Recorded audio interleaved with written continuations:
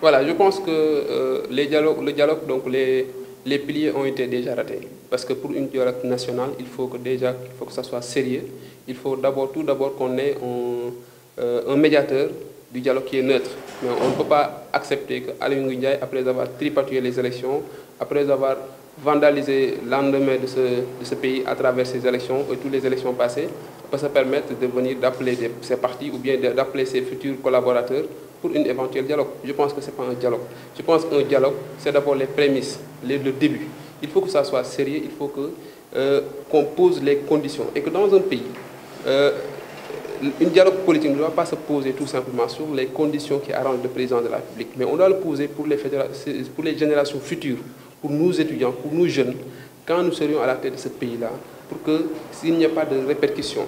Parce que si vous regardez très bien euh, ce qui s'est passé récemment avec euh, le, la suppression du poste de Premier ministre, euh, c'est quelque chose qu'on fait tout simplement. La Constitution est devenue aujourd'hui quelque chose qu'on écrit avec de la crayon et on gomme d'une minute à l'autre. Et je pense que ça, ça ne va pas servir au Sénégal, ça va tout simplement profiter à Macky Sall et son, clan qui veut tout simplement s'accaparer de ce pays-là.